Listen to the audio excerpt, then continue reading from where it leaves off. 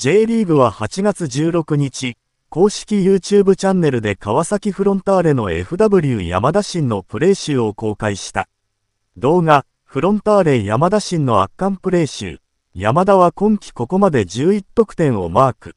直近3試合はすべての試合で2得点と絶好調だ。動画にはアクロバティックなボレー弾、パワフルなドリブル突破、狙いすましたラストパスなどが収められている。この投稿には、以下のような声が寄せられた。小林優みたいにギラギラしてるところが大好き。本当にいい選手。ニヤに相手 DF 引きちぎって飛び込んでくるのがかっこよくて好き。とにかく強いし、かわすのも繊細でうまいし、速いし、本当に頼もしい、ゴリゴリ感あるゴール好き。